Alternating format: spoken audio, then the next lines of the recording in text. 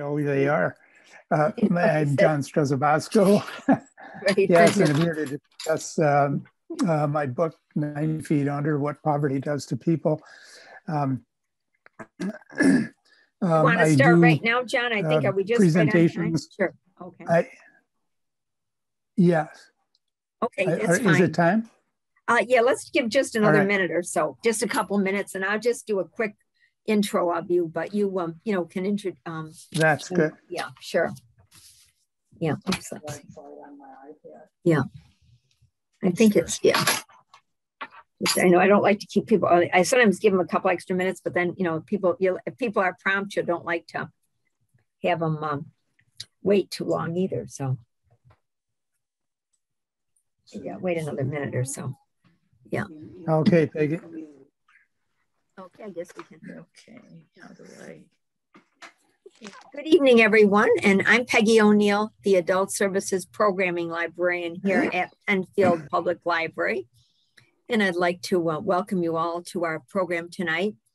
Uh, 90 Feet Under What Poverty Does to People by John Strazzabosco. Uh, John has written um, a book that the library has. Um, right now it is out, so um, people would have to reserve it. And uh, John has been a mathematics teacher and uh, has done uh, research in this area that he uh, is going to talk about. So without further ado, John, I'll let you take it over there. And we did ask people probably if you keep yourself muted, unless maybe at the time of questions, but we'll have it uh, put in the chat. The program is also being recorded. So if you wanted to see it again after, it'll probably be uploaded um, about two weeks after. So okay. I'll let you start now, John. Thank you. Yeah. All right, Peggy, thank you very much. Um, so I, I'll tell you a little more about myself. Uh, I was a math teacher in the Pittsford School District for 33 years. Then I retired and uh, I got into, I decided after a few years uh, to get in to make an effort in the field in, of social justice. Um, I had been interested in social justice my whole life. Um, so that's how I got started in here, and I'll talk a little more about that as we go on here. I do, this is, as you can see, this is the cover of my book. I do presentations, workshops, and also book clubs. Uh, I mentioned book clubs because uh, I wanted to start off with a book club comment that was made. I was doing a book club for um, a colleague of mine, and she had about 20 women over, and uh, we to discuss the book. They read the book, we were discussing it, and they had great questions. Uh, and then somewhere into the evening, this one woman said, um, You know, after reading your book, uh, I finally understand my husband. And we all, we all kind of got a chuckle out of that because it's a, it's not a book about marriages or anything, but uh, it turned out that uh, she described she, she, I questioned her a little bit, and then and then uh, she uh, let out some information that was really helpful in understanding, and I think pertinent to what uh, I'm talking about here tonight. Uh, she said her, her husband uh, had grown up in uh, New York City in a tough section of New York City. Um, at night, there was always a lot of loud music and crowds outside, gunshots and sirens. And uh, she said he never got much sleep. He would go to school the next day, and that's where he would get his sleep. Um, so, and then she said when they moved up here uh, to one of the suburban uh, uh towns, uh, she said they were, he was going around, for instance, uh, one night and going to Wegmans, you know, he was asking, the checkout uh, girls, uh, uh, you know, is it safe here? She said, well, of course it's safe here. I mean, but what I got to see was the, the long term, the lingering effects on this man. And, I, and that's what this woman meant that night, that her, what was happening was that uh, some of the lingering effects of of his background were still with him and not leaving, and they were, would be hard to understand. Uh, and I, what I hope to be able to do after tonight uh, is, is show you what uh, uh what the underlying factors are that could cause a problem like that, uh, what those underlying factors are. so um, I, I joined, well, let me, let's go back. I'm just going to leave this right here. Um, I got involved with a church group uh, having to do with uh, poverty. And then I wound up uh, working on the Rochester Children's Zone, which was an effort to try to get our city in the, uh, with the kinds of support that Geoffrey Canada had gotten for uh, the uh, for the same kind of makeup down in Harlem. Um, I also got involved with Action for a Better Community. I did some mentoring and tutoring there, and I also started to develop this PowerPoint so that I could show people what we were seeing. My wife and I, my wife was also quite active with me uh, in this whole venture. Um, so, and as I went on, I think I went in with kind of this, you know, the savior complex. Uh, I know what the problem is here and I know how to I think I have some suggestions to help people solve this. And after a couple of years, I realized uh, I, I didn't know what was going on. I didn't understand the problem. I had no idea on what to do about it. I just knew that I was looking at a really a heartbreaking problem here. Um, and so for me, I did what, uh, you know, typical introvert does. You know, you go home, get alone, get a piece of paper and a pencil out, and I started making a list. Um, and so I wrote down number one, people in poverty um, make decisions based on survival. Uh, and now I had something. It was there, and I knew this was a factor. I had read, read this in Ruby Payne, who's an author on, on poverty, a really good one. And uh, so and I knew that this was a factor. I was observing it, and I heard Dr. Uh, Dr. Fred Rogosch at the Mount Hope Family Center describe it this way: you survive the day, and the next day you start all over and survive that day. And if that's the way your decision making is going, uh, it does not speak well for education, and certainly not for careers or anything that has to do with long-term planning. So I wrote down number two discourse. Um, I wrote a sentence about this. What I said was that uh, children of poverty uh, speak in the casual register, while their teachers are speaking in the formal register. And that may not sound like much, but think about it. You're going into school, you're used to casual register, but you're all the information is being delivered in a different register. That is not the kind of smooth transition that we would like to see. Now, there are ways around that, but still it gets in the way. So number three, I listed this one after um, after seeing the, the Betty Hart and Todd Risley uh, re, uh, research. They were researchers down at the University of Kansas, uh, and they found that uh, kids in generational poverty have half the vocabulary of kids who have advantaged parents.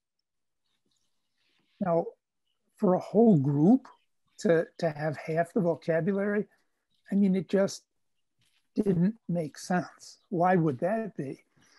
So, number four, I said, well, if, that, if these are the case, then now we're going to have trouble with reading, certainly. And we know now that they're living in different realities, which people in middle class and wealth are not going to understand. Um, and then that would lead to being judged and probably to shame. And how would you get out if you didn't know the rules of class, of middle class and, and wealth? Um, and you in poverty, your needs cannot all be met. And you probably are lacking the vocabulary for sophisticated enough voice, you know, individual voice to talk you through problem solving. And what was happening here was this developing list, uh, the, you know, one, two, and three leading to all of the other 10. And I knew I was onto something now. If you were just dealing with this, these 10 pieces, uh, you've got problems in your life. Uh, but of course, this was not the end. This was right here. I kept writing and writing, and I came up with these 90 impacts of poverty. Um, and if uh, if you take a look here, let me, uh, I think I'm going to get my laser. I'm going to use the pen at first. As you go up and down, you'll see down till, till you get up around maybe 35, 34 diseases. Uh, things have to do with language in school and reading and, and things like that. But now all of a sudden, we have to consider disease, trauma, um, and really the brain, uh, which is at the base of all this, uh, which is now going to determine an awful lot. And once the brain gets involved, well, now, now we have quite some implications that are possible. And that's where all of the rest of this comes in. Now I realize this is a lot of stuff to just look at, you know, this, but just the thing that I think to do that that's good now to do is just look at it and realize if kids are going around with all of these things as impacts in their lives to a great extent or to a lesser extent, but they're overwhelmed. And so are their parents. And if you go down here to number 90, born, which is the last one on the list, uh, if a child is born into generational poverty, then that child is born into all of this, all of these 90 impacts. So that's where the 90 uh, feet under came from. These 90 impacts, I think, are devastating on people who live in poverty and I think are much more responsible, in fact, totally responsible for, for, for why people have a tough time getting out of it and why it affects them so long. And, and like this woman's husband now was still showing signs uh, later on, you know, he's probably successful in business and, but he can't let go of that past, which is still ingrained in him. Um, so uh, we'll get back to this uh, list in a second here. So I was playing golf two days ago. This was, we're, we're in Chautauqua right now, my wife and I, and I was playing with my, one of the guys here. and we got up to the 13th tee and this sign was on the 13th tee. Between which years in a child's life does the most rapid brain development occur? Hmm. Well, it turns out the Chautauqua Lake uh, Child Care Center was having a fundraiser that day, and that's where this thing came in, this little uh, sign. Uh, but the neat part of it was I looked at this and I said to my golfing buddy, I said, I know the answer to this one. And uh, actually, I better know the answer to it because I'll be talking about it with you tonight. Um, between which years in a child's life does the most rapid brain development occur? Well, as my own physician told me, he said that would be between, whoops, see, zero and three. Um, what happens here to understand what's going on with the brain is that you're born with about 90 billion brain cells. And each of those cells can connect with 10,000 others. That means you have a million billion actions. And each of us could be undone and replaced and redone in another way. And Dr. Daniel Siegel calls this in a developing mind. He says that this is one of the, uh, it is the most complex system on earth, uh, human made or not. the other part about the brain is that when a child is born, uh, the specialized areas of the brain are really not connected yet, nor are they fully developed. For instance, the, the frontal lobe, uh, where we do our thinking, uh, that's not connected to, let's say, the hippocampus, where, where uh, our memory starts to take place, or the amygdala, which has to do with emotion and is important for the way we develop. So none of these important areas of the brain are connected. But as soon as a child is born, we find an extremely robust uh, connection going on. actually cells are starting to connect at the rate of one to two million a second for the child, for the newborn child. So what we have then go, um, is, whoop, I'm going to have to go back here to my list. What those connections are doing then are making what's called integrative fibers between the specialized areas of the brain. And the problem is, if you're living in poverty and you don't have the nutrition and you don't have the right health care and you might not have the clothes and you might be sick a lot, well, that can impact your integrative fibers. And in fact, it can impact everything else that's on the list that you see here at the same time. So, well, so what I'm going to do with you here, uh, I'll give you a little overview right here. We're going to talk about the science involved here. I think it's important to get, get some ideas of the underlying science so that you get a feel for how seriously impacted uh, people in poverty are. In fact, anybody who's under a lot of stress. Uh, we'll look at discourse, the way we, people talk, and uh, the languages of, of the three classes. And also we'll talk about realities too. The realities uh, are different for people in poverty as they are for people in middle class as they are for people in wealth. Um, and I'll start off with uh, Terence here, a little story. Uh, Ter when I first got involved um, with, with social justice, we were at a, a church over on Portland Avenue. And uh, I went to a hot dog roast over there. And, and so it's my first time, and I'm, you know, I look different than most other people there. And I don't know, and I'm an introvert, and I, you know, I'm, it's hard enough for me to figure out what to say in situations like that. So I'm figuring out what, how do, what do I do now? Where do, where do I go? And I see this kid who's sitting over, he's, he's about as thin as a rail and he's sitting against the church steps and the church itself. I mean, the rest of the action is going on on the lawn. So he's all by himself. And then he's got these crutches next to him. And I thought, okay, here's my in. Because, you know, I'm a teacher in Pittsford. Um, I see kids all the time with, uh, you know, blown out ACLs from soccer or lacrosse or, uh, you know, or, or skiing, or things like that. So I go over to this kid, you know, say, so what happened there? And he looks up at me and he says, I got shot. And he was angry and he spat it out and I didn't know what what to do. It was like I was off my game and I tried to persist with some fumbling with some conversation there. Um, and it really didn't work out too well. I did not make too much progress with him.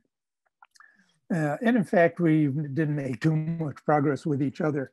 Uh, told maybe about six months later, um, he had a chance to do some explaining of what life is like over there to some of the people um, that, that, that accompanied me over at the church.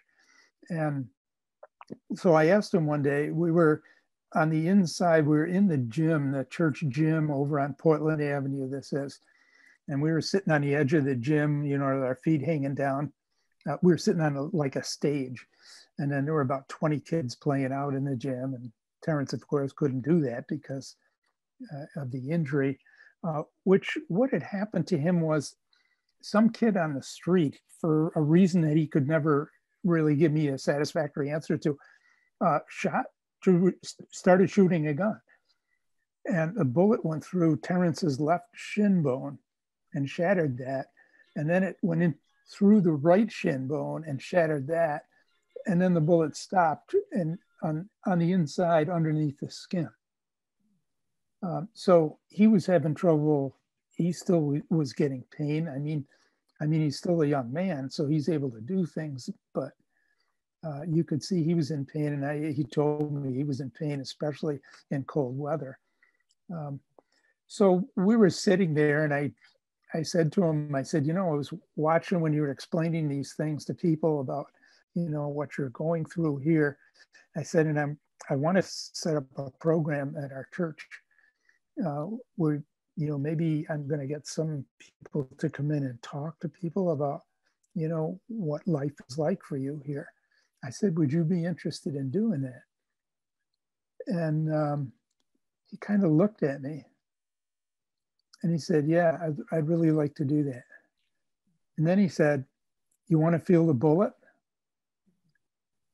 And I I said, Yeah, yeah, yes. And so he pulled his leg up, his right leg up to the stage, you know, his foot, and then he pulled up his pant leg. And then he took my hand and then he he put it on his on the shin bone there. And and you could feel it was like a grape underneath the skin where this bullet was. Um, so when we, we think about the pain that get registered gets registered for this kid comes in two forms. One, he just feels the pain. The bullet hurts sometimes, his legs hurt sometimes. And when, when you get that kind of pain, um, it gets registered in a part of the brain that's called the anterior cingulate. Now, that might not be too important for us to know tonight, except that when he thinks about the terror of that moment, the terror also gets registered in the anterior cingulate. I just thought that is a very interesting combination there. Real pain and imagined pain being registered in the same part of the brain. So there are a couple of things that we should talk about here, and we'll get these out of the way, some like housekeeping here uh, to get some definitions. A family of four living in poverty must survive on approximately $24,000 a year. Uh, and if this is what your family of four is living on, you do not have enough to meet your needs. Um, so what that means is that you're always doing without something and it could be food, it could be clothing, uh, maybe you get evicted, uh, maybe you're cold. I mean, or several things like that all at the same time, or maybe all of them at the same time. Um, so that's what's going on in the life of people who live in poverty. Uh, they can't have their needs met. Um, that brings about some driving forces in poverty uh, that I want to want to mention specifically. One of them is survival, as I mentioned, which is critical because what this means is that instead of laying out long-term plans, you're going by what you do there. You know, maybe you can figure out a week ahead, but you may not be able to do that if everything if, if you're going to wind up maybe losing your home or maybe you need clothes or any of those factors comes in.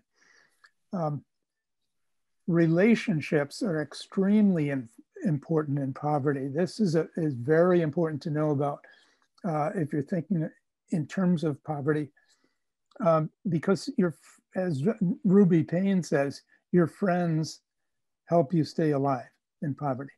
So your friends are crucial, and so are your family members. You do see a lot of sharing in poverty uh, family families stick together. Sometimes they form entirely different uh, kind of branches and webs than we in middle class and, and wealth are used to would understand even. Um, but relationships are critical and that's always to be kept in mind because it governs how the decisions that a, a lot of people make. Um, another big deal is um, entertainment. If uh, what happens is that entertainment can lift the pain of poverty, even if only for a little while. So you see somebody buying a big TV uh, at a time when you might be saying, how in the world did they ever afford that? Well, they probably didn't afford it. Um, and that brings me to a story I want to bring to you about uh, a girl named Gloria that my wife and I mentored. Uh, Gloria was born to her mom was addicted to cocaine, so Gloria was addicted to cocaine, and um, Gloria's mom also did not want to raise her, so her grandmother, uh, Gloria's grandmother, said, "I will take the child."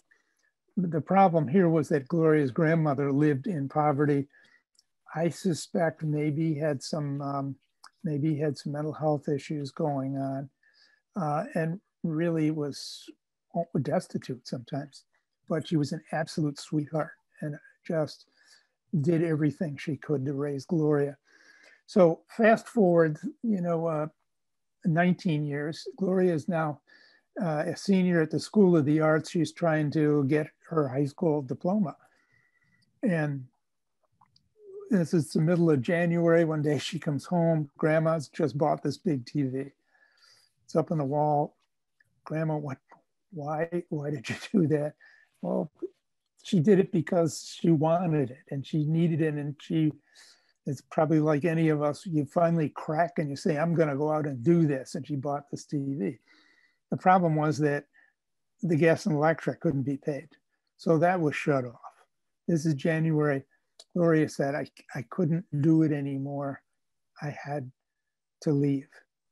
Uh, she wound up going to Hillside, which helped arrange for her to emancipate herself and find some living conditions and be able to keep going to school, you know, and get food and, and some clothing um, like that.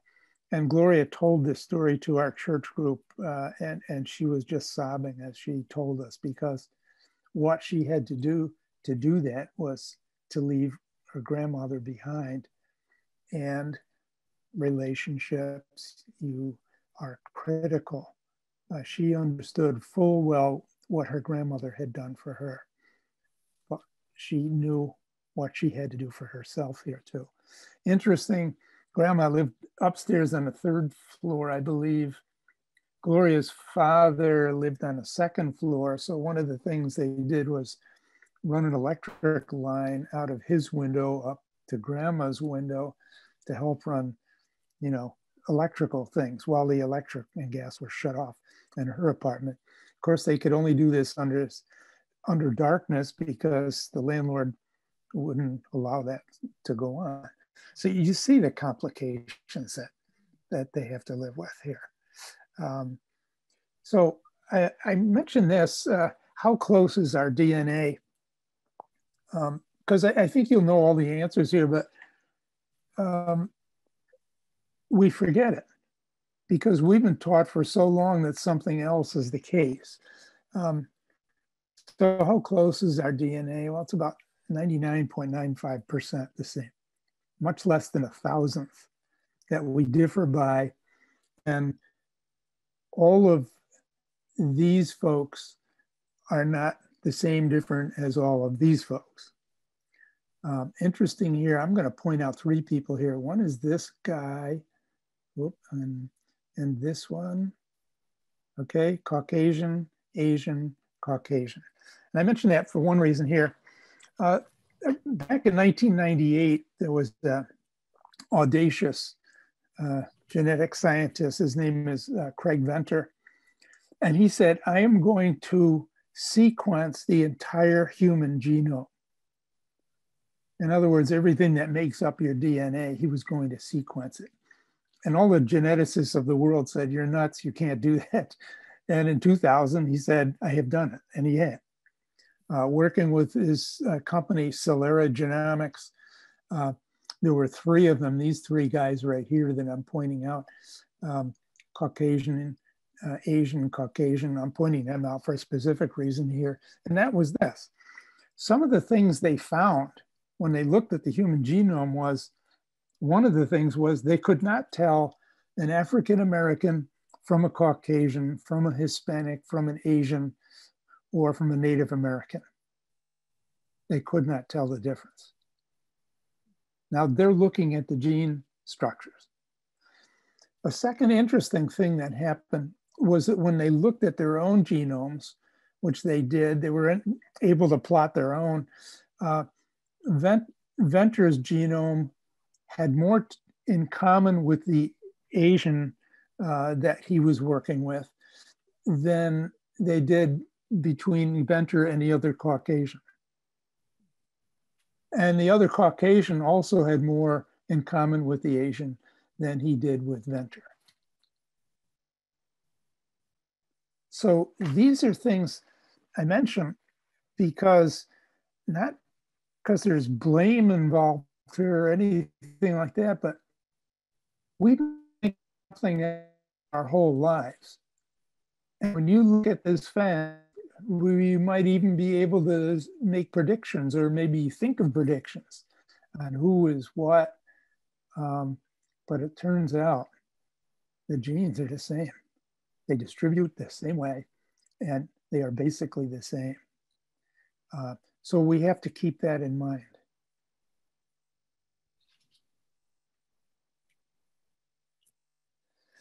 Poverty in the United States, um, this will be the last list I'll, I'll give you for, in a few seconds here. Uh, this is from the 2016 census. Uh, poverty in the United States gives us some interesting ideas here. In poverty in 2016, this is before, uh, in poverty about 40 million in the United States, and that was 12.7% of the population. Of those, uh, white people made up 27 million of that, and that was 11.6% of the white population. And for Black people, that made up uh, 9,234,000, and that was 24% of the Black population. So there are two things, I, I bring these up, I think it's worth it to look at this particular statistic, which is kind of like the same statistics over the last 60 years you'll see basically the same thing going on. Um, if I were to question in Rochester, what color is the face of? I'm sure the answer would be black. I think it's in many areas of the country, people think that black people all live in poverty. But as you look here, you can see that there are three times as many white people in poverty as there are black people in poverty. So that's different than we think. So you find three times as many appear. Um, as we go over here to these percentage figures, we can see here that black people enter poverty at twice the rate of white people. Now, if the genes are the same, if the DNA is the same, if they fall into line, distribute randomly, but this, in the same way, how, how can this be all of the time that this figure is roughly twice this? And here, what I think we're talking about is structural racism. Something is baked into the picture here so that this always happens. And if you go back 60 years uh, and looking at the, the US uh, poverty figures in the census, you'll find the same pattern there.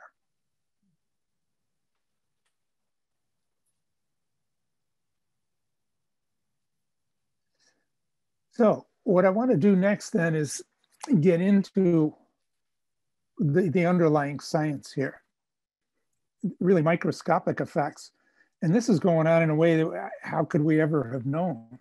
I mean, until modern research came along, the computer, and then people figuring out ways to use the computers uh, to do medical research and, and all different kinds of science research. Uh, how could we have known this? Well, what happens here is that you get these stressors of poverty that mount up from 90 different impacts all the time, the overwhelming effect. Um, and those invade the brain. Um, and how they enter the brain is well, the brain gets this information. It could be stressors of all kinds. It could be like uh, with Terrence, it could be pain from his wounds. It could be pain just from thinking of the horror of being shot. It could be lots of different ways that stress enters the brain. Once it does enter the brain, though, it now has an easy access to the rest of the body. And that's through the central nervous system, which is made up of these other brain cells. So stress gets passed off to the neurons in the brain, or the neurons are brain cells. And then the neurons pass that off to, say, the chromosomes, whatever they are, Actually, we'll find out in a few seconds here. And the chromosomes will react by creating what's called DNA aging. Another name for that that's been very popular in the last year and a half is comorbidity. Now, I'm going to flash up here a science picture. If science was not your thing, don't be frightened. I'm going to take you by the hand and walk you through the diagram. Uh, and let's take a look at this. Uh, don't look, try to look at too much at this at one time. Follow my laser pointer here. And there are really a couple of parts that that'll be interesting for us in all of this. Right here that I'm pointing out is your body cell. Typical body cell, you have about 37 and a half trillion of these that make up your body. You know, your skin cells and, you know, immune cells and all the different cells, your muscle tissue, the cells all add up, 37 and a half trillion of those uh, make up your body. Well, inside the cell is the chromosome. And actually there are 46 chromosomes in each cell. I don't want to give you too many numbers though. So this is a chromosome. It's there inside the cell. And if you take a look at the chromosome, there's something down here at the tip of it. And that's called a telomere.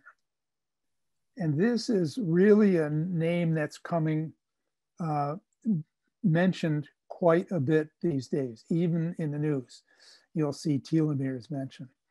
Uh, here at Chautauqua last year, um, I heard, uh, no, it was two years ago, uh, it was, um, I think it was Scott Kelly, it was one of the Kellys. I think it was Mark, I can't remember whether it's Mark or Scott Kelly came back from outer space. He was there for a year. He said when he got back that his telomeres were off about 7%. And that was important because what happens with the telomeres, if they're nice and long and healthy, then your chromosomes do what they're supposed to do.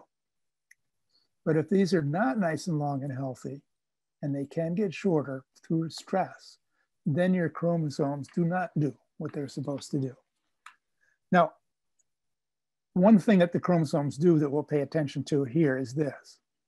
One of the jobs of the chromosome, it's a huge one, by the way, when your body cell gets tired, what happens is the chromosome says, You're not doing your job right. What I want you to do is split in two. And what the cell will do now is split in two, and you'll get an identical cell because your DNA is all wrapped up inside the chromosome, you'll get an identical cell that's healthy, and the old cell gets absorbed into the body. Sometimes they may be used to help other areas of the body, but usually absorbed into the body. So you get a new cell, it performs like a, you know, a healthy, fresh cell, and then you go on your way. Your body stays healthy. Where the comorbidity comes in is this if that telomere is shortened due to stress, the replacement cell may not be as healthy as it's supposed to be.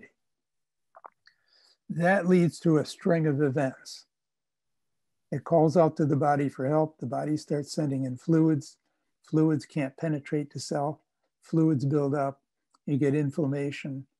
And so what happens then is this replacement cell isn't doing the job you can wind up with Crohn's disease, celiac disease, cardiovascular problems, uh, immune system problems.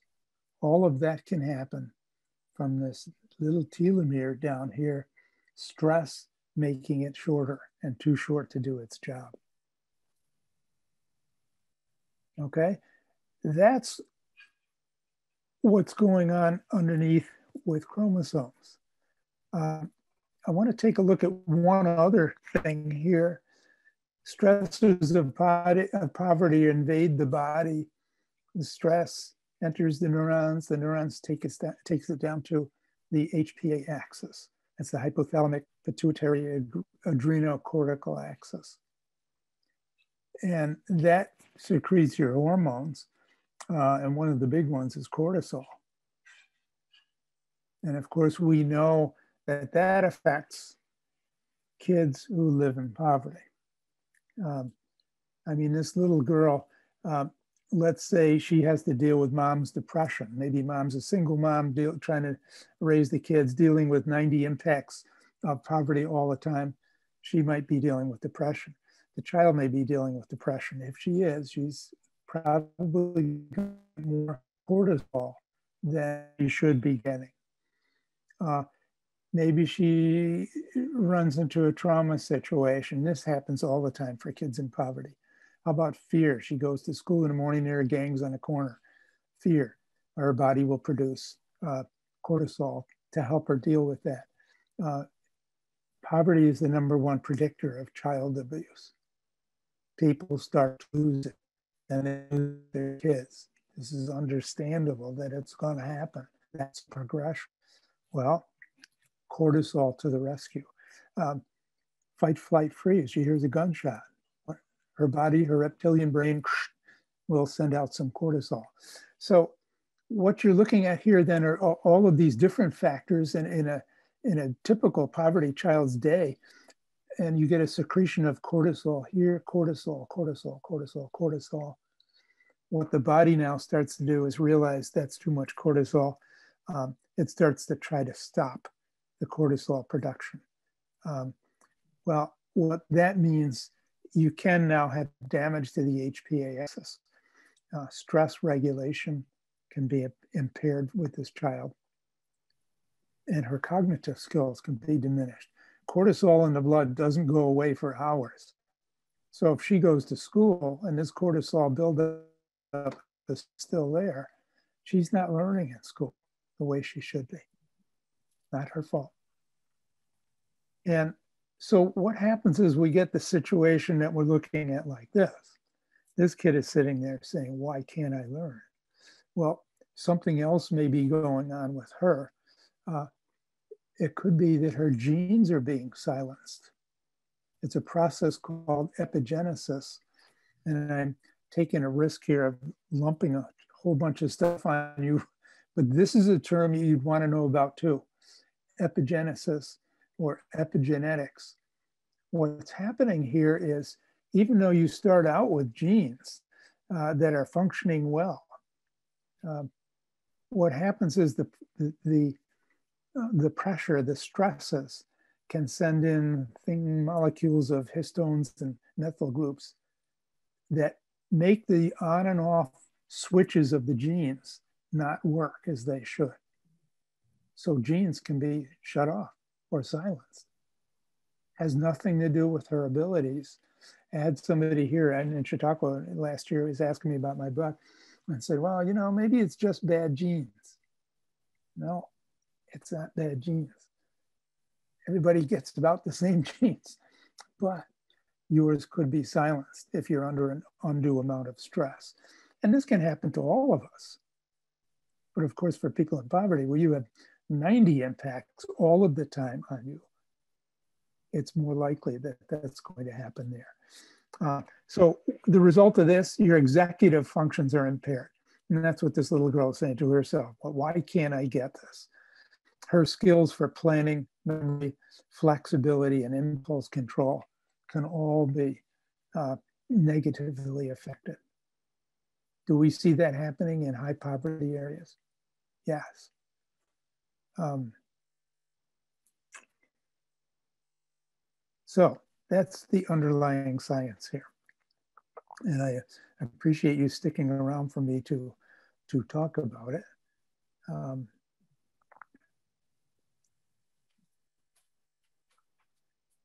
well,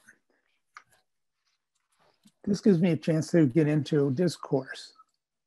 Uh, these are, this is some, some ways in which there are some ways in which um,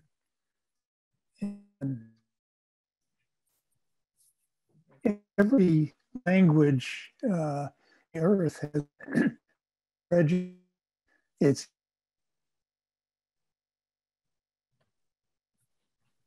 our formal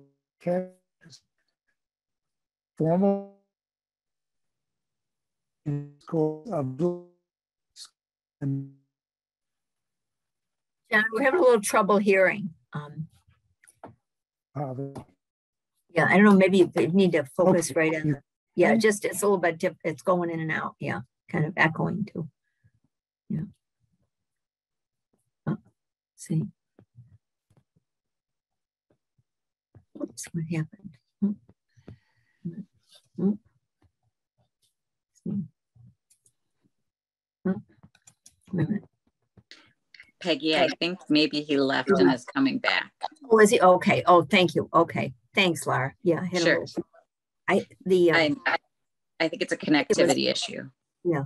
Difficulty hearing it seemed to be, uh, did you folks under, hear that too? It seemed to be, all Mhm. Yes, right. Yeah, hopefully, okay. Yeah, maybe he did go back. Okay. Yeah. Well, he isn't, he's in Chautauqua, so maybe that, I don't know if that was, yeah. Okay. John is muted. Yeah, here we go. Yeah. Yeah. Unmute, John. Oh, can't hear you. Okay. There Yeah. we go. You okay? Yeah, we I'm couldn't. unmuted we just now. wanna- I gotcha. All right. Well, I think No I problem. have to get my, my PowerPoint up here. Okay. Let's Yeah. see. Let me see if I can bring this up again. No, that's not it.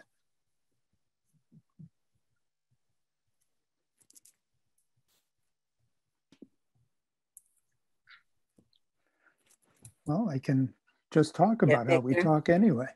Okay. Is it, you, on the sharing, it's not working then? Is it? Okay. Um, let me see here. Here we go. Got it there? Okay. Oh, well, I, I am not uh, visible on the uh, the webcam, but this is uh, Nancy. Uh, John, this is your Chautauqua uh, connection, and I find uh, this whole idea of neighborhood and poverty um, very fascinating. But I do know several years ago, and I'm wondering if you can hear me. Uh, several years ago, my sister was doing the census, and she was in a poor neighborhood in downtown Rochester. There were four chronological adults, one 12 year old boy going off to school who said he was hungry, and they gave him a bottle of Sprite to see him through the day. So there is a very different way of thinking um, Oh, among, well, is, what else yeah. is new among people? Oh, th- well, thanks for that, Nancy. Yeah, that's quite interesting that you know somebody who was in in Rochester too. Uh, we were looking at the same the same kinds of things there. Now, with the the language registers, um, let's see if I can. There we go. Um, formal register is used for tasks, and that's why it's used in businesses and school. Casual register is used for relationships. Um, and I'm going to erase that for a second because when I first got started doing this, the I got to this section with casual registers, and I knew from Ruby Payne and from what I heard, you know, just from what I observed, that casual register was used in poverty, but I didn't know why. And it was a Native American woman who was my spiel one night, and she said, "Well, you got that casual register right." She said, "You come to see us on a res, and you better be prepared to spend a couple of hours. We're going to sit down and talk and get to know each other." And I thought, ah, this is what it is. It's relationships. Casual register is used in poverty, not because you don't have the gene structure that you're supposed to, not because your DNA uh, is wrong or anything like that. It's because you need friends, and friends help you stay alive in poverty. And that's Mhm. why casual register is so important uh, in poverty for those who live in poverty. Uh, so I think we have to change the way we think of this. Uh, you know, it it may not be something wrong if somebody's using casual register, and it's a register that we're not used to hearing. Um, potential problems, of course, for for this little guy, if he's he lives in poverty, he's used to hearing casual register all the time and using it all the time. His teacher is going to be speaking in formal register. That's a disconnect. If you're hearing this stuff, your, your, your education delivered in a different uh, register, that takes some adjustments to do. Um, the same thing happens in a situation like this. You see the doctor here, his, uh, his posture is formal. That's probably how he went into this. He's used to formal register. Dad here, maybe he needs signs of trust. Uh, in other words, before he can go on, he needs to know he can trust this guy. And if this guy, doctor, had taken some time, maybe at the beginning, to make sure this was a relaxed situation, maybe this guy would be saying, I think I can trust this guy. Maybe he's got something to say about my son. Um, I mentioned Latasha here because I want to just talk about it, um, a situation I ran into. I was uh, tutoring and mentoring a young woman. Her name was Latasha. She was 21 years old. This is not her name, by the way. In fact, none of the names that I'm using are, are the names of kids I, I needed to use to protect them. Um, so Latasha, I was, she was trying to get her GED. Uh, ironically, she was going through. Oops, sorry. Sorry, Jen. No, wait a minute. Oh, sorry. Wait a minute. Oh. Sorry. Okay. Okay. Oh, sorry. Okay. Oh. Wait a minute. John, wait a minute. Oh. I got to unmute, John. Sorry. Wait a minute. Oh. Wait a minute. Oh. Can you hear me now? Yes, I'm sorry. Hello. Mistake. Good. No, I'm okay. I got it. Sorry. So I was working. I was working at uh, Action for a Better Community, and I was tutoring this uh, young woman, 21 years old. She had a child, uh, and she told me that she was she had been successful in high school, uh, pretty much, and then she she got pregnant her senior year. She had two credits to go. Uh, she had the baby. She had to leave school for a couple of years. Went back, and they said, "No, you can't. You're 21. You can't."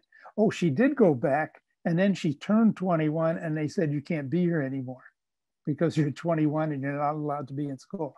So now we had this this young woman trying to get her GED. I mean, when she could have had a diploma, I was like, so anyway, she's we're trying to get her diploma, and and, I'm working uh, her GED, and uh, so we're working on a math problem, and all of a sudden her cell phone goes off, and I I know not to get in the way of cell phones because cell phones are relationships, and relationships are critical. Um, so anyway, she takes this. So she says, "Can I take this?" Yeah, go ahead, take it. So she takes the call. She gets uh, a, little bit flustered, you know, and finally says, rah, rah, rah, and then she turns off the phone. I say, hmm, is there everything okay? And she says, yeah. So we started a math problem. Um, she crunch, crunches up the paper. And I said, what's going on here? and she said, it's my sister. She said, I'm supposed to go to a job interview today, uh, but I had to go first to get my papers, excuse me, my medical papers from the doctor's office. And, and she was going to give me a ride. She said, but now she's not going to do it. And I said, well, since, since the tutoring seems like it's over for today, um, I said, supposing I give you a ride, you know, over to the doctor's office to get your papers. And she said, oh, you would do that? And I said, yeah. So, and then all of a sudden this frown on her face. She's thinking. I said, well, what's, what's the problem here? She said, well, the doctor said to pick up the papers at one o'clock and it's only 11 o'clock. And I said, well, maybe you could call the doctor up and ask if you could get your papers now. And she just stared at me. Now, this was a woman who was negotiating poverty and all those 90 impacts, plus a child, and she was married too, and making a living. And she was, you know, was bent on doing this on her own, you know, with her family. And yet, when it came to asking the doctor for papers a couple hours early, she was almost at a loss here. So I said, call the doctor up, you know, and ask. So she did. She took the phone, she called up the doctor. All of a sudden, this big smile on her face. She says, I can pick up the papers now. We, I, we got in the car, took her over to the doctor's office. She got the papers. I took her to her uh, interview, and she had a job that afternoon. I mean, when you think of this, the what you're looking at down here in this picture now, think about what could be going on here that isn't even said that maybe keeps this guy from asking a question or something, or keeps this guy from springing it open so this guy can ask the question that may be critical in the situation here. Um, we have differences in classes, sometimes differences in color too, that bring about these same roadblocks. Um, okay, now I got to children of poverty. There's a little list here. I just want to mention half the vocabulary of Advantage kids. Uh, they're spoken to less frequently by their parents. Uh, in children of poverty, this is they speak to their parents less frequently, significantly less frequently. And they hear fewer words per hour uh, from their parents. Quite interesting. This is all from the Betty Hart and, and Todd Risley study, which is just fascinating. And in addition, there are big gaps and differences between encouragements versus prohibitions by parents per hour. Um, for advantage parents, advantage parents give their kids 32 positives and five negatives per hour. And poverty parents give their kids five positives and 11 negatives per hour. This, I believe, makes a significant difference in the way kids learn to approach challenges. This number of positives and also this gap with negatives here listen, two to one negatives for parents uh, of poverty, almost a seven, seven to one uh, positives in the uh, positives over negatives uh, for advantaged parents. Does that mean these parents love their kids more? I don't believe that's the case. But I do believe that when you're dealing with those 90 impacts all the time, uh, you may not be, uh, you may not have all the patience in the world all of the time. I also have to thank Kathy Bond here because she's on tonight. Kathy was one of my first readers. I'll mention this because this is this is a library now, and and this is a book. Uh, and when I one of the early drafts, um, Kathy agreed to read for me, and we got up here, and it was I think I said encouragements versus prohibits or something like that. And she said, "What what's prohibits? What do you mean?" So I had to, and I went and and used the right words here, prohibition. So see, that's why you have readers. You get editors and they straighten you out. And she did. I'm grateful, Kathy. Now, I want to talk also about the hidden rules of class. I think it's important that we know about the differences in classes and some just some of the rules that we use.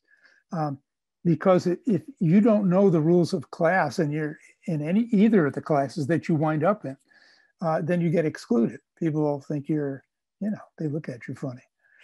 Um, but before we do that, we'll take a little quiz here. Um, and I want to make a prediction here. I'm go going to assume that probably most or all of the people uh, here tonight are live in middle class or, or wealth. Uh, and I could be wrong with that assumption. What's the main concern for people living in generational poverty? Uh, think about this for a second. Don't give me anything out loud, but think to yourself, what do you think would be their main, main concern?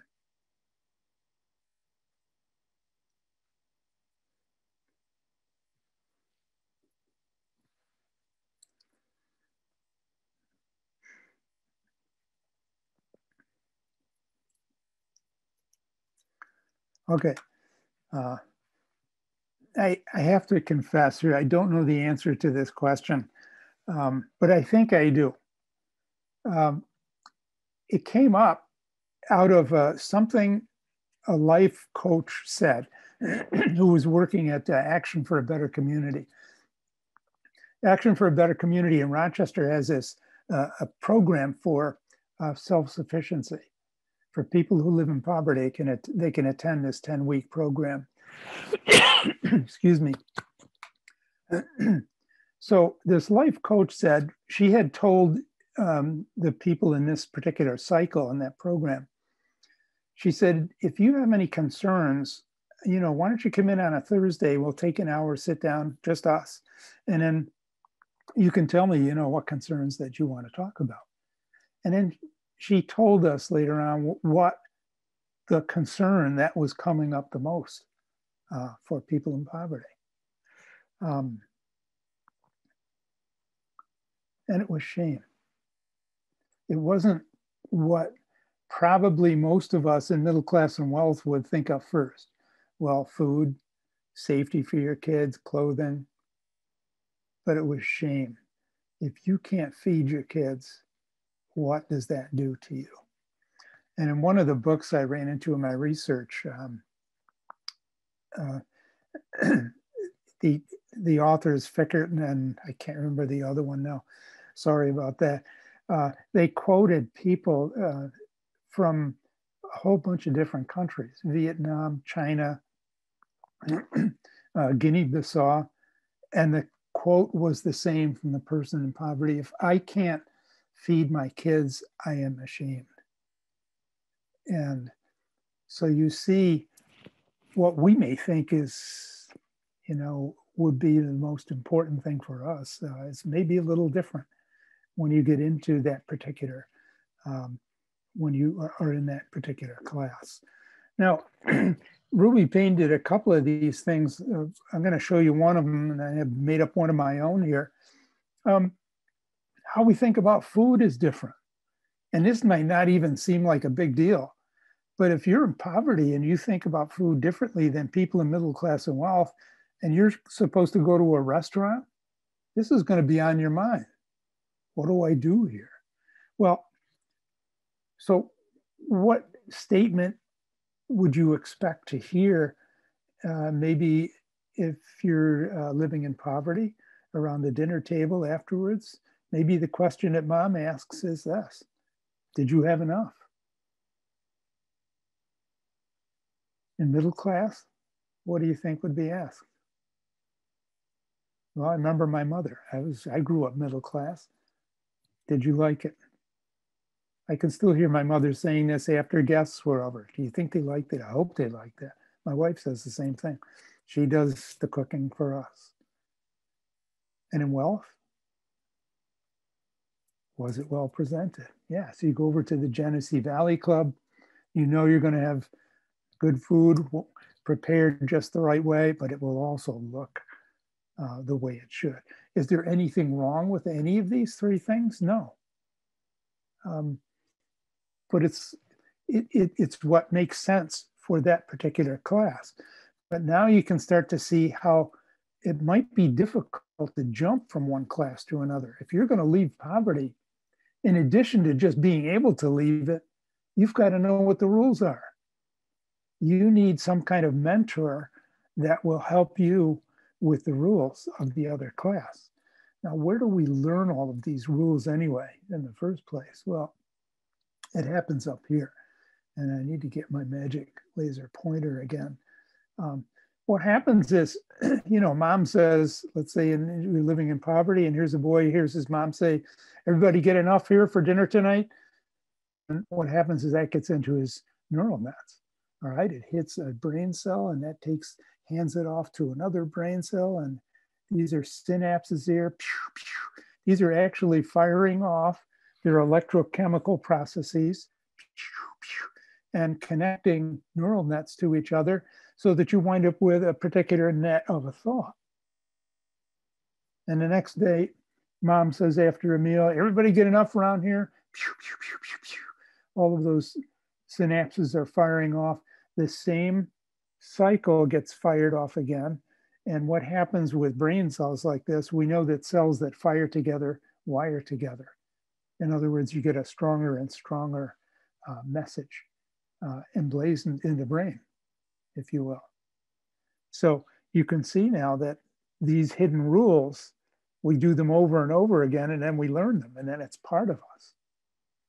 Um, one of the areas that people, particularly in, in middle class and wealth, do not understand about people in poverty. Well, why don't they go get an education? You know, it's um, if they would just do that, everything would be fine. Well, as it turns out, in poverty, something else comes first. Mom, I've got two tests today. You're not going to school today. It's Monday, remember?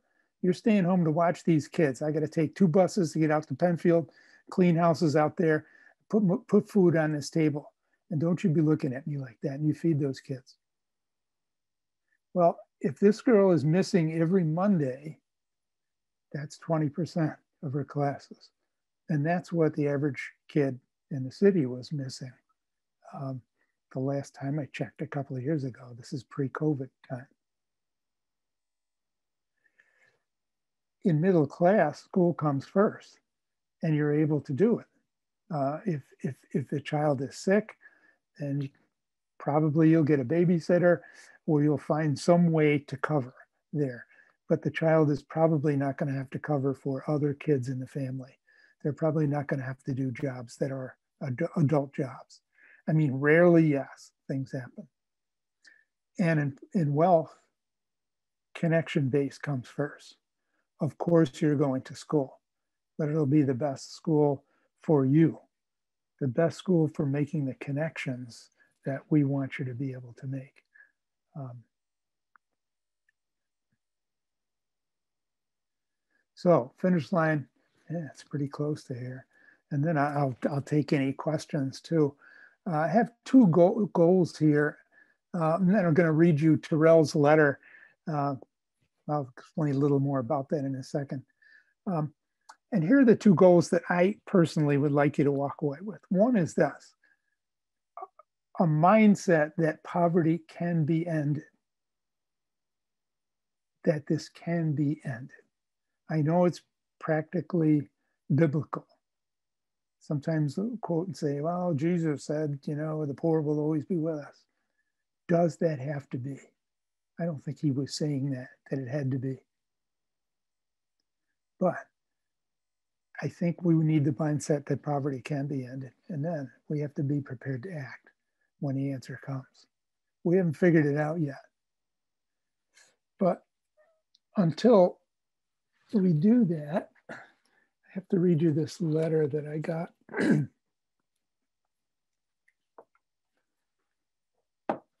and what happened was at the time, uh, Terrell was a little boy, a nine year old. I decided to start a big buddy program. It was like a, a uh, what do you call it? oh, Big Brother, Big Sister program. And uh, so my wife and I both got involved with, I got involved with Terrell, who was nine years old. He was at the drop-in center. And my, uh, my wife uh, got involved with his sister, who was an eight-year-old. And we, for the next five months, he was nine. And for the next five months, I picked him up every Wednesday and we did something. We'd go bowling or we'd go we'd go to the library we'd go to a bookstore we would and we'd do his homework together. And and then there were other times that we got together to do things too. There were some special events. Um, and one of the best times we had was at the god i almost i almost had to twist his arm behind his back no you wouldn't do that at the at the at the museum and then, because he didn't want, no, I'm not going in here. And he said, by the way, my father's the principal of this. My father's the director here. so we get down, and what what was the best thing of all the things in the museum that day was this little. They had a sandbox where they trickled water through it, and kids could just dam things up. And he got involved there. He didn't want to leave it. And I wasn't going to move him either.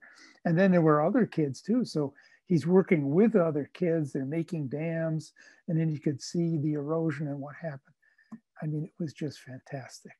So we were um, we were together as a you know uh, I was a mentor for him for about five months, and then um, I had a situation come up where uh, his his mom called me up, said to me one day, you know, he, he wasn't he's not been behaving in school, and if and if if if that's going to be what mentoring is about, then we're not going to do the mentoring anymore. And I said, whoa, whoa, wait a minute, what's what's going on here? So she explained to me he had run out of class in school and he had some issues. So um, that could happen with him. So I said, you're going, are you going to talk to the principal about this? And she said, yeah, we have a meeting next week. I said, can I go? Yes. So I went with them and uh, the principal at the school was wonderful. I mean, they had really, were doing a, a really good job of what, how to handle this situation.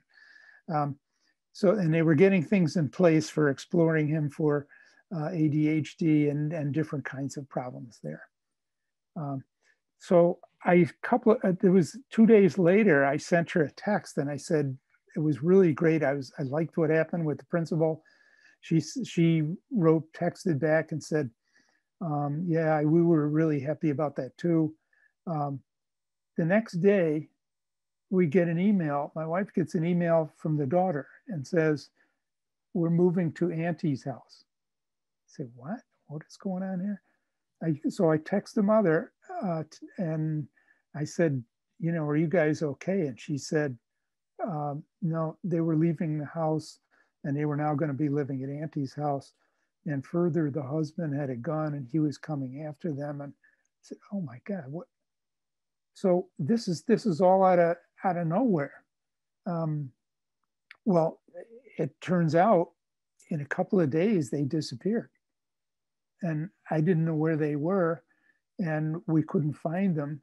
And it, what happened was we found out about a week later through the aunt that they had gone to a shelter. And then after that, the mother said that uh, when they got out of that, uh, she said she didn't want to do the mentoring anymore. So I had no touch with um, with with Terrell and his sister, and there's what do you do? And in a short time after that, the church closed down. So the drop-in center that we worked at, we had no connection with these kids at all. You couldn't. There was no place to go to. So I didn't know what happened. I mean, he he had just turned 10 years old. Um, so fast forward seven and a half years, um, I'm Googling and Googling, you know, over the years, every once in a while that I, I had no other way to find out where he was. Um, and then I Googled a mugshot. Um, and it turned out that he was in serious trouble. Um, there was, well, there was a killing. Um, and so I, through a, a, a, friend of mine who's a lawyer, I found out where he was. He was in the county jail here. Um, and I was able to go and get in touch with him. And I found out how to write him a letter, and I wrote him a letter. And then I got this letter back. Um, and this is from the book. Usually I like to open up the letter and just read it, but I, I don't have it with me. It's in Rochester, but I do have it in the book here. He said, uh, John, wow, this is crazy, but I didn't remember you at first. But it's been so long it's been a long time since I've seen you, and I would love to get in contact with you. I need all the support I can get. My mom and dad comes visit me once in a while, but never put money on the phone or commissary like that. The crazy thing about it is that I am here for someone else's actions, but I was at the wrong place at the wrong time. Anyway, anyways, I'm all right. I try to stay focused, you know. I only got me in this world, so I just have to keep fighting and have faith in God. I know He's going to make a way for me. I believe in Him. No matter if I get five, 10, or 15, I am not giving up. It's sad that man got killed for nothing. But after I do my time, when I go upstate, if I do, I am going to stay out of jail as long when God tell me my time is up. And you know how I'm going to do that? Change my mindset and the people that I used to hang out with.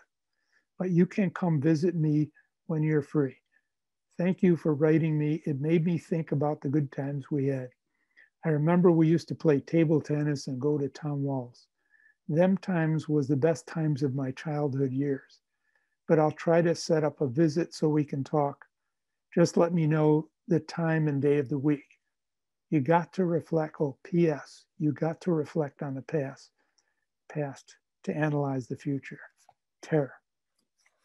Um, so I was able to get in touch with him. I did go visit. I learned about the county jail and how you get in and, and just the ins and outs of visits are just incredible. If you have someone in jail, I mean, you know, half of the times you go down there, um, and if you're in poverty, you're probably taking a bus or two to get down there, then find out something's changed. Maybe the judge called him in so that you can't see him that day.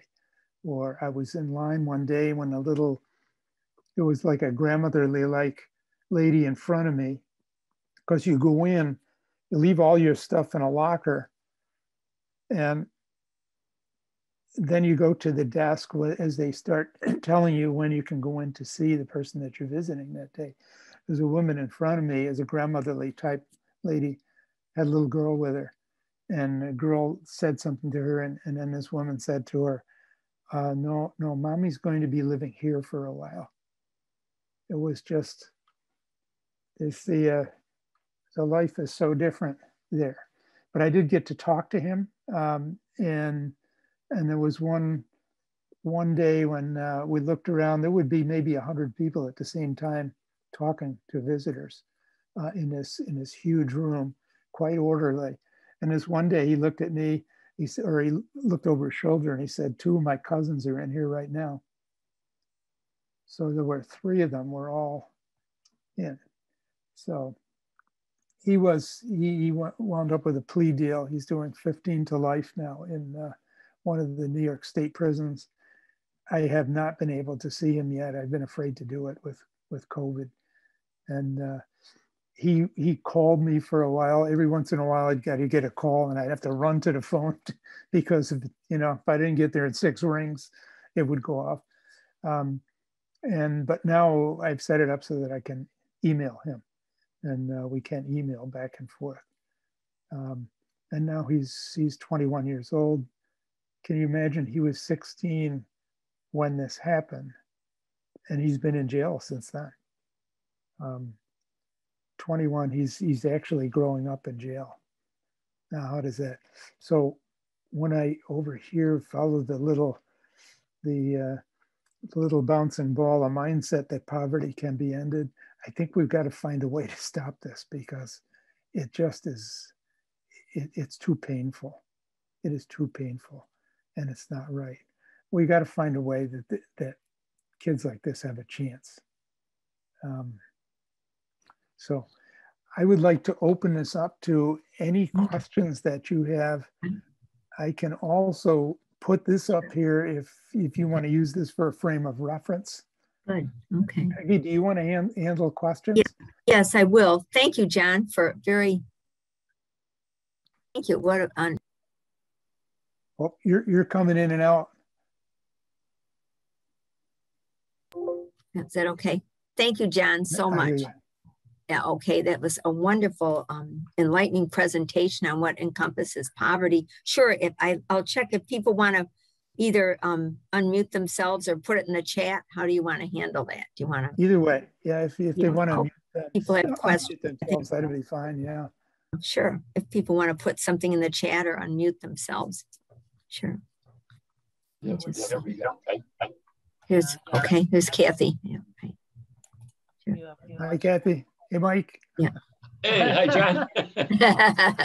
Hello. Very, very, very interesting. I um, I, I learned things that I thought I already knew. Wonderful research. And, uh, and, and this is this is uh, Nancy phoning in, and I'm not sure if you can hear me, uh, but I would like to uh, put in a plug for the Penfield uh, Rotary Club because every aug- August we we pack a hundred backpacks of school supplies. We have a liaison with an inner city school, and with a hundred of backpacks with rulers, pens, crayons paper, notebooks, whatever. And of course, education is so important for all mm-hmm. of us. But the idea of collecting these school supplies and then delivering them to an inner city school, I think is a, a really positive step Oh, in the yeah, that's a- Rochester area. That's a wonderful idea. Yeah, I would suggest, yeah, keep keep that up. I'm sure they appreciate that. Mm-hmm. Yes. Are there other questions here? Nancy, any other comments or questions here? No. I'm checking the chat, John. I think they're, yeah, I don't think in the chat, but if people wanted to unmute themselves and see if anybody else. I know, I know. We- But I got, I got questions, but they're not related to the book. oh, on the topic though of um, poverty, of, No, Mike. Michael is my oldest friend, going back. oh, okay, okay. I So when go- we were okay, kids, 'cause I was gonna Uh, actually, we uh, it might it might be interesting for these these guys to know too. We all went to Franklin High School. oh, That's right. okay. Yes, Fighting Quakers. the Quakers. yes. Yeah, I remember So I'm a state graduate. yeah, that was an area too. it was good school though. It used to be. Yes. yeah. Mm. Yeah. And Kathy was one of my very best friends. Oh, this is Dottie. Yes. Where is she? Pardon? Sorry, before. There she is. She doesn't have her picture. Hi, Dottie. We see your black screen. Yeah, I, I've been having trouble with my computer. Why? see if anybody chat here. Well, the um, just to remind people, the um, presentation is recorded, and I'm sorry there were a couple of glitches here, but we will um, be sure that everybody who is signed up um, gets um, to view it after. As I said, it takes a couple of weeks, I believe, before it will be ready, but we'll send that out. Or if someone wanted to, you know, uh, who missed it, I know there are a couple of people that were unable to attend at the last minute we will send that along to them as well. All right. I can tell you if um, if you have a couple of minutes here, I could just tell you a little bit about how the book developed. Right. Um, since with I don't know with a library and uh, talking to readers, um, what happened was I was doing these presentations for a while, um, and then I realized I, I wanted to write some things down so that people could walk away with uh, something after a presentation. Uh, and then eventually I, I, wrote a whole bunch of essays and realized nobody's going to read this that way. Uh, and then I started to organize the book in a in a different way as it as it finally came down came came out. Uh, it was difficult to do because I had stories and also science and this long list and how do you get all this stuff together. Um, but I did. It took me probably about five years to put it all together. Uh, and then I started looking for, uh, once you get it written, you get readers. You try to get readers. My sister Joyce, who was on tonight, read it. Uh, sister Janet Korn read it. Uh, Kathy read the book. And Mike, I, Mike read the book. It was just, that's where you get your information about, well, wait a minute, this, about what works and what doesn't work. Uh, and then you get this book manuscript on your hand and now what do you do with it? And i started going after um, uh, small publishers. And so i started uh, submitting simultaneously. I told them i was submitting simultaneously. And i set out probably uh, a, letter a query letter and then a couple of maybe a chapter. Uh, I don't know. I think I just sent out a query letter to about 30 or 40 or maybe 50 uh, and uh, editors. And I started getting a couple that were interesting. You know, a couple that were saying, we're a small house, we can't do this, but I think somebody should. And that was encouraging. And then finally, I got uh, uh the, the, the company that I went with here. Um,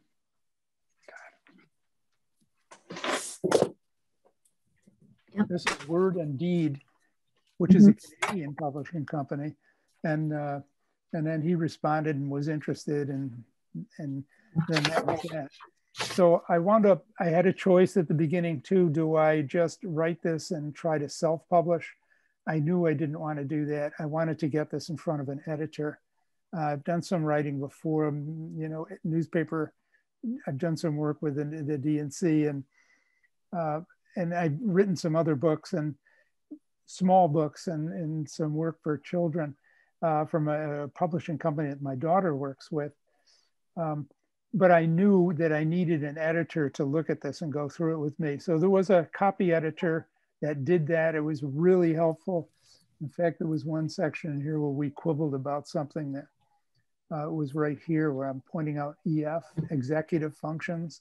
Uh, your executive functions are your planning, memory, flexibility, planning, flexibility, emotion, impulsivity. These are all parts of your executive function. He said, well, wait a minute, these are that. You can't have, you know, that that's one.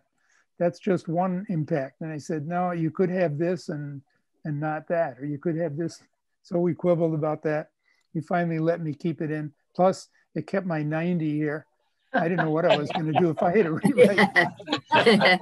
um, but I, I actually, with the 90 uh, impacts that I had here, I actually uh, did uh, delete a few along the way, and then something would come up that's made me realize, no, wait a minute, this belongs here. Uh, and it just kept being what it was. So I, th I think I'm, I'm in the ballpark anyway. What I personally believe it adds up to is uh, it's, it's, it's almost like a disease. Poverty is almost like a. Uh, you can think yeah. of it that way. Mm-hmm. Once you're in it, it's tough. Right. It's tough to get yourself straightened out. Um, John, we do have one question in the chat right now. Are you currently in? Uh, are you currently involved in programs to deal with poverty? In the second part of the question, what avenues do you think are being most effective? Um, I, I, my, uh, what I do is present. Um, this, this is my, I think this is my 115th presentation wow. that I've done. So I, I go around. I think I'm just trying to get word out that way. Uh, I also would like to, uh, and will do this at some point. Um, COVID really killed this part of it. I, I want to go back to Action for a Better Community uh, and do some uh, um, volunteer work there, working with kids uh, and, and adults trying to get their GED and, and just do some tutorial work in that way uh, about, I know at ABC, Action for a Better Community, about 43% of the people there did not even have a GED. I mean, hmm. you've, where, so that has to be helped. And that's the, that's uh, what I do. Um, and that's the area that I'm in right now. Uh, my wife and I are also involved in, in some other things. My wife is quite involved with, uh, and my I'm planning another book. I'm about probably about 70 or 80 pages into a book that I plan to write uh, that has to do with uh, racism. Uh, be looking at it in, from my own point of view too, and my own dealing with it and coming to try to understand it. Um, and if whether that comes to something, we'll see. Uh, I don't know if it will or not, um, but I'm going to try to make it do that. Um, and we do have copies of the book, but they're none in right now, I don't think, at any of the libraries. So some of you may have them at home reading them, but um, okay, you can always okay. put a hold on as well. I don't know, John, do you ever do um, like signing sessions at all for the book? You probably did in the beginning, I maybe. Do, yeah, I'll do any, you know, book clubs or, okay. yes, I would be glad to do anytime. but I have, I have done several book clubs. They really they've turned out to be a lot of fun to do. Uh, and it's uh, now that COVID, you know, now we'll see if it's going to go away. I'm I'm not sure I like uh, some of the signs of what's happening as we get closer to all being indoors again. Um, but it, it's really neat to do with these things live. Uh, it's it's it's a lot more interesting. But by Zoom now, I can talk to my friends in California too, and that's Matt and Nancy from uh, from uh, Chautauqua are able to, to check in too. And Dottie, it's it's so good to to run into you folks again, Matt. Um, I think I mentioned so this. So I, I, I do plan to stay involved with this and do, you know, do what I can. Mostly it's going to be with mentoring and tutoring and presenting like this and keeping up to date. I, I do update every one of these that I do. I've updated every uh, presentation that I've given. Uh, they all, I learn something each time and then learn what's not working each time too. And, uh, and I'm glad we all made it through this. Uh, I, am glad we made it through the technological parts here. You know, I appreciate your patience with that too, because I know it's uh, it's it's hard enough looking at a lot of science like this and staying with it, and unless you can, I don't know, be able to see it. So we're hoping to have in-person programs after Labor Day at the library, if all goes well. But we also are hoping to have um, the programs recorded, so if people prefer to get it um, through a recorded version rather than to come out. So we're working on that um, possibility too. So Thank you, John. Yeah. Great Thank presentation. John, that was wonderful. It was. I don't think there was Thank any you. more in the chat. I just want to check and and um, you know we'll hope All right. maybe John we can have you back in person and you'll be working on another book and we'll see if we can um, get more. And um, Yeah. again, people are thanking um, you for your compassionate presentation. We've got some wonderful comments. So thank you again, everyone. well, I'm thank you, I'm John. grateful to all of you, and thank Thank you you. for this opportunity. Face. Thank you. Thank you. Great presentation. Mhm. And we will Thank watch you. for the Great. recording, folks.